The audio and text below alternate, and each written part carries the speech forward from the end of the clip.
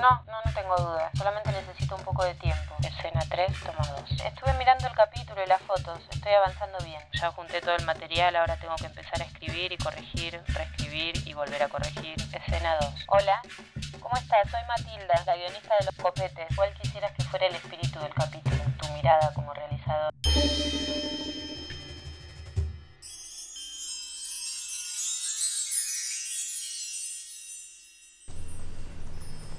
Piezas frisadas, engranajes helicoidales, rebajas especiales, chaveteros. El torno es una obra de arte, una máquina maravillosa en materia de mecánica. Todas las herramientas mecánicas posteriores están basadas en el torno. El torno puede ser más o menos preciso, pero la precisión verdadera se la da el tornero que lo opera. Este es el tornero que aprendió a volar. El tornero que salió volando. El tornero que salió volando. Este es el tornero que aprendió a volar. El tornero que salió volando.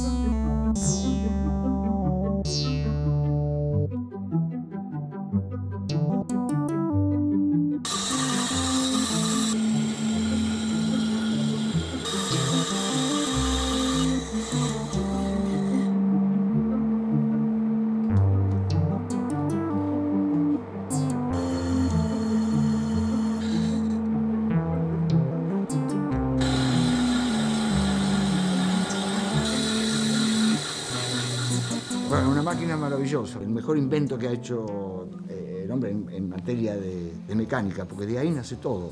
Con el torno se empezaron a hacer todos los adelantos técnicos que hay en maquinaria, en todo. El torno, si bien hoy hay máquinas muy modernas, pero está toda basada en un torno.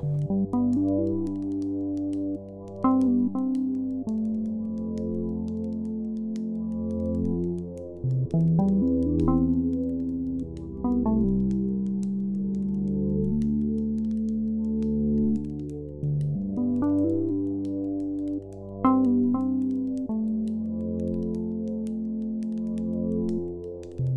ejemplo, yo tengo que hacer un prototipo o una prueba de una, de eh, una máquina, sea la máquina que sea. Entonces las piezas las hago yo. Lo, hago- lo tengo en la cabeza, lo hago en el torno y de ahí se hacen los planos de la pieza correspondiente, ¿no es cierto? Lo agarro un trozo de, de aluminio o de acero, le doy forma y bueno, a veces también me equivoco y esa pieza no sirve, pero es como cuando uno se equivoca, está haciendo un plano. Eh, claro, es mucho más costoso esto porque hacer un plano es un papel, pero hacer eh, eh, la pieza cuesta. Pero casi por lo general la misma pieza que pongo, el trozo de, aluminio o de acero que pongo, sale la pieza hecha y perfecta, y anda perfectamente. Yo hace sesenta y pico años que soy, tornero, es decir, dicen que soy tornero, pues yo no me considero tornero porque yo no estudié, no de nada, trabajo en el torno, bueno, soy tornero. Recurro siempre al torno, cualquier cosa que tenga que hacer en- en res- respecto a la mecánica, ¿no es cierto? Y le busco la manera de, de- hacerla la pieza, de solucionar problemas, porque a veces aparecen cosas que hay que hacer una modificación o algo y recurro al torno. El torno, con distintos elementos que lo he fabricado yo, hago eh, piezas fresadas, hacer estrías, hacer eh, chaveteros, hacer este, rebajes especiales, o sea, dientes, engranajes, engranajes helicoidales. He hecho engranajes helicoidales, como una muestra que tengo de cuando era chico. Esto tenía 12 años cuando hice este. Un engranaje helicoidal, esto está hecho en el torno con una pieza una herramienta especial, una fresa, que gira y tiene esta forma. Este era un engranaje del eh, motor grande cuando Saladillo tenía luz eléctrica por medio de sus eh, grupos electrógenos. Era un motor grande, un motor inmenso, la usina de Saladillo. Ese repuesto no se conseguía, había que mandarlo a buscar a Italia. Entonces iba a estar un mes eh, el pueblo sin luz. Entonces el tornero de acá de Saladillo le dio la forma al engranaje, que viene ser esta forma, este mismo, pero yo te voy a contar por qué. Él lo hizo de bronce, como era de fábrica. Todo bien perfecto. Y había que hacerle los dientes y se fue a ver. Y yo nunca había hecho el helicoidal. Empecé con un pedazo de aluminio y le empecé a hacer los Cuando vi que era posible, puse el, de bronce que me trajo él y lo hice. Y el motor eh, siguió andando, andando, hasta que al último, cuando vino la corriente ya de línea, este, eh, lo pararon y lo vendieron por fierro viejo. Y el motor paró andando el engranaje ese. Y ese fue un desafío. Entonces ahora hago viento helicoidales también en el torno.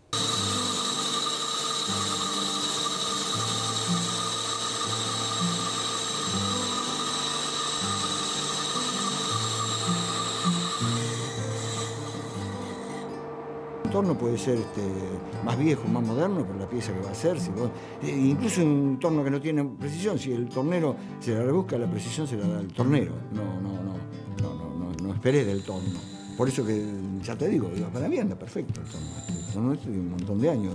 El otro, el, que tengo allá en el otro, en otro lugar, es... Eh, nació 10 años este, después que nací yo.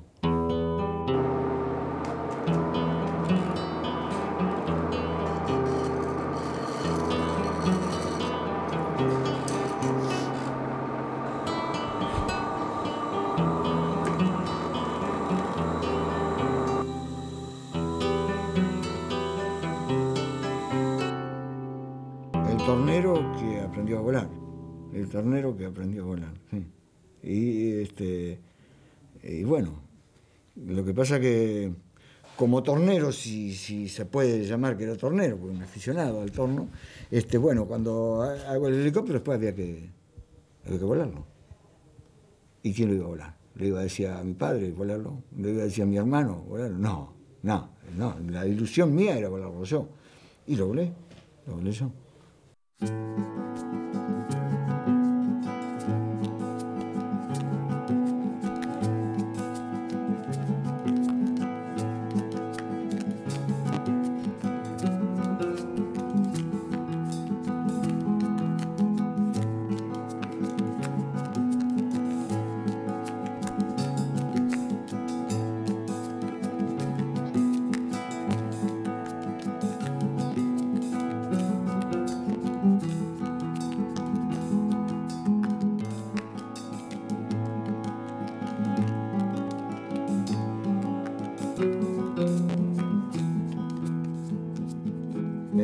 Llego y me dicen todo acá, dice, qué feliz te ves, sí. Y cuando es una cosa que te despeja la mente, ¿no? Salir a volar en un helicóptero es por mí, ¿no es cierto?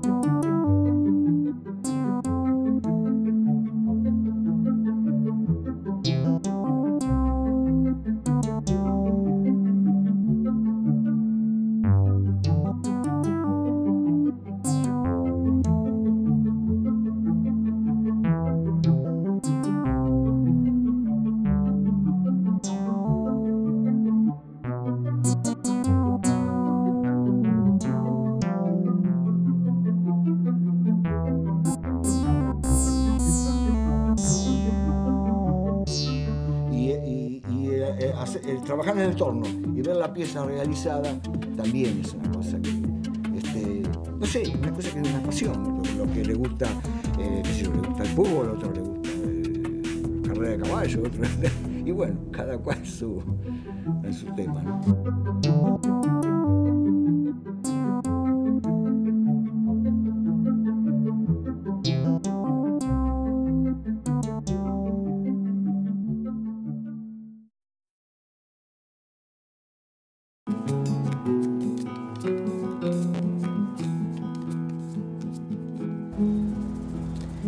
Tornero se considera aficionado, a pesar de tener gran cantidad de patentes e invenciones a su nombre y reconocimiento mundial por el valor de sus creaciones.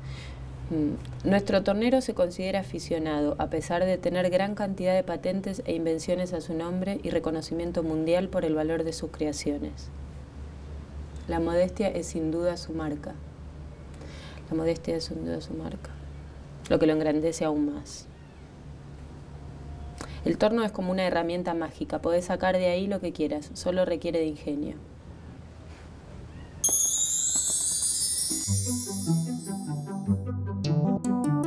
Y mi madre también, que entendía mucho de eso, me decía, mira, si vas a hacer un helicóptero vas a tener que aprender mucho de tornería porque el torno es lo principal para hacer las piezas de un helicóptero. Y así, así fue que le tomé tanto cariño al torno que hoy en día muchas piezas las hago en el torno, en, en un viejo torno. En la revista Mecánica Popular, que una revista norteamericana, que mi padre la, leía. Había un estanciero de la zona que le traía los coches a arreglar, máquinas y eso, y él recibía la mecánica popular de Estados Unidos. Entonces, este, eh, la prestaba a mi padre para que lo leyera. Y estaba por ahí arriba, yo era muy chico, recién cumplía cuatro años, y no sabía leer ni, escribir, por supuesto. Entonces, este, vi la revista, empecé a ojear y veía aviones y todo eso. Y por ahí veo un aparato que estaba en el aire. Era un montón de fierros, como mi primer helicóptero, un motor de fierro, un montón de fierro porque era un esqueleto, nada más. Pero como nunca había visto nada antes de, eso, le pregunto a mi madre, ¿esto qué es? Porque lo vi en el aire.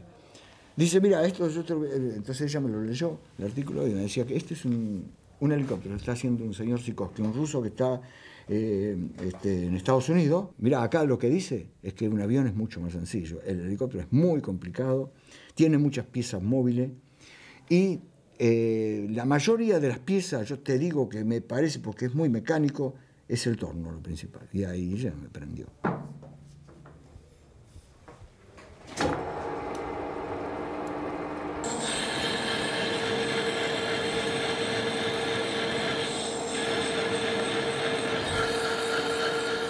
Y le digo a mi madre, yo cuando sea grande quisiera hacer una cosa, pero ¿y cómo no? ¿Por qué no lo va a poder hacer si este hombre, dice, es, un hombre, así me dijo, textuales palabras, de carne y hueso, como vos? Así que, ¿por qué no va a poder? Pero eso sí va a tener que estudiar mucho, y es lo que menos hice.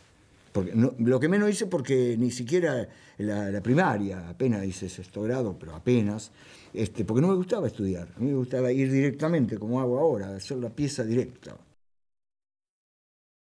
De ahí me di cuenta que el torno era lo, esencial para hacer el helicóptero. Y bueno, y así fue.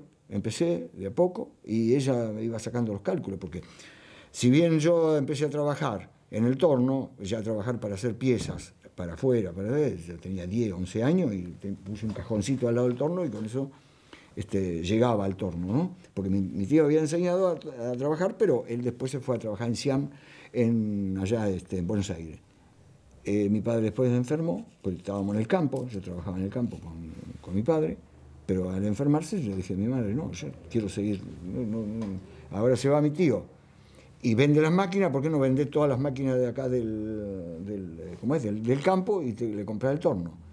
Y pero ¿cómo vos vas a? Sí, le digo, sí, yo sé trabajar en el torno, ¿cómo no? Y ahí nomás me hizo caso, le compró las máquinas y, empezaron a traer los trabajos.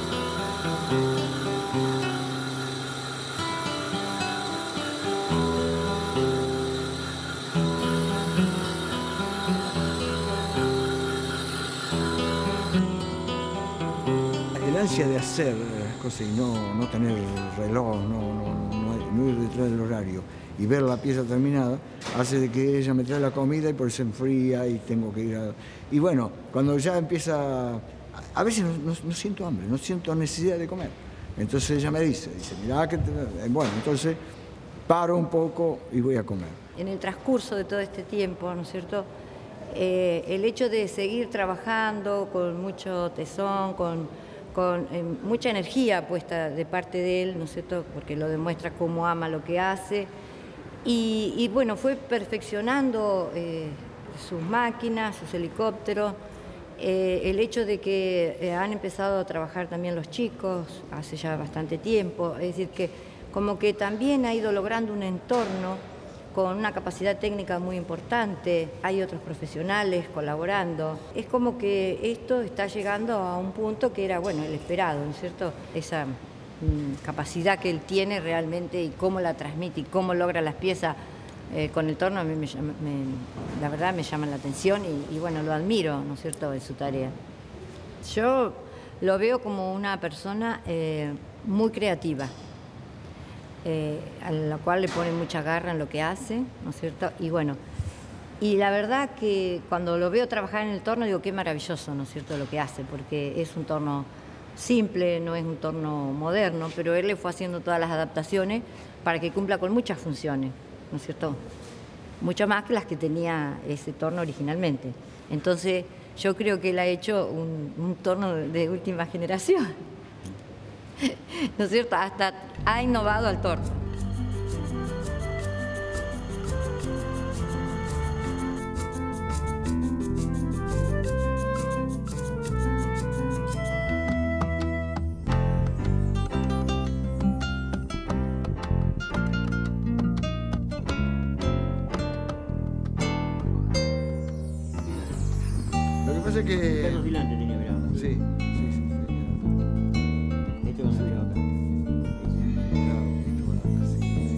Él es eh, Hugo, mi hermano menor, tres años menos que yo, y bueno, y cuando trabajaba en el torno, él, por supuesto, también me ayudaba.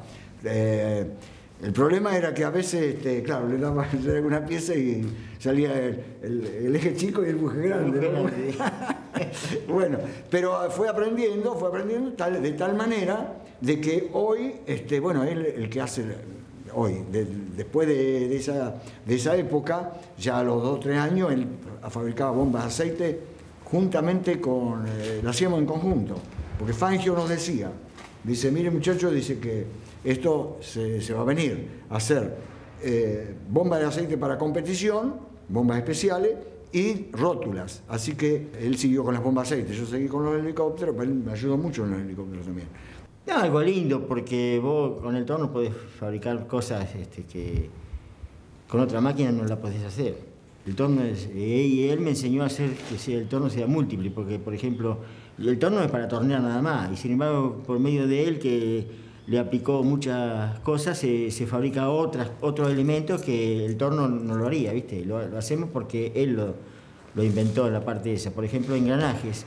Estos engranajes de acá, este engranaje no se haría si no tenemos una fresadora, una fresadora para hacer estos dientes. Y él eh, diseñó una, pieza en el torno que la hacemos actualmente en esto porque él... Y no solamente esta pieza, se le hace, se sirve para cepillar, para fresar, el torno sirve para muchas cosas. Claro, todo esto, por ejemplo, se puede hacer todo en el torno, se le busca la vuelta y se hace toda la forma, porque el torno la palabra lo dice, el torno viene de contorno, que se tornea una cosa eh, contorneada. Todo irregular la pieza y se le busca la vuelta y se hace. la vuelta para hacerlo, pero gracias a que él este, en ese momento lo, aplicó al torno para hacer todos esos trabajos. Eh, el torno sí, el torno bien, bien aplicado deja su, ganancia, sí. Entonces, así que nosotros vivimos años con el torno. No, no todo el mundo tiene un hermano como él que qué sé yo, fue creador en todas las cosas que se hizo, fue siempre un creador. Siempre le buscó la vuelta para que las cosas se, se pudieran hacer. No hay nada que no se pueda hacer para él.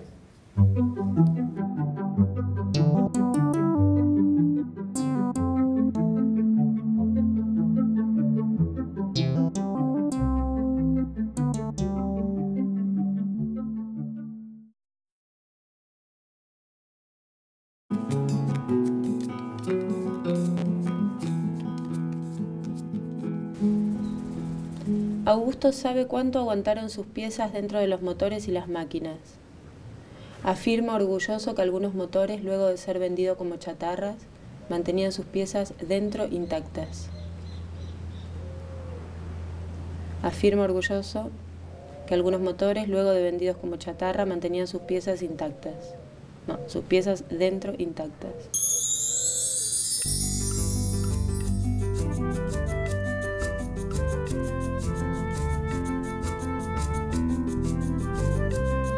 No me doy cuenta. Por eso no uso reloj, para mí me doy cuenta que llegó el tiempo que los empleados se van o, ya está bajando el sol, ¿no?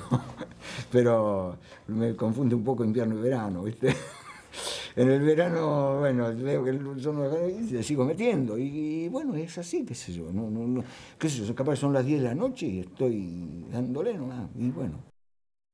Y al principio ya te digo, costaba un poco entender eso y bueno, pero una vez que empecé a acompañarlo y, bueno, ya venía, le ayudaba en una cosa, la otra, traía a los chicos. Es decir, los chicos se incorporaron de muy chiquitos. Y entonces eh, parte de sus juegos los hacían en el taller. Les encantaba, al ser tres varones. Entonces, y ellos lo fueron tomando como algo natural. Y así fue como le fueron tomando cariño y, y bueno, es como que hizo garra en ellos también, eso, ¿cierto? Se fue encarnando, porque eh, ya uno hablaba del helicóptero y a uno eso lo, pone, ¿no es cierto? A mí me, emociona muchísimo y, bueno, me da ganas de seguirlo, acompañarlo y bueno, de que ya pasa a ser algo, un interés de la familia, ¿viste? Yo creo que fue algo como un proyecto también familiar, de decir, bueno, tenemos que hacer todo para que realmente haya una empresa, ¿cierto? Y bueno, yo creo que de a poquito se fue logrando. Y es como que todos eh, apoyan y lo sienten como algo que es parte de su proyecto de vida. Eso es lo que yo siento y a los chicos les pasa lo mismo. Y a pesar de las dificultades, ¿no es cierto? Y a pesar de todo, como se dice, se puede. y la realidad lo está demostrando.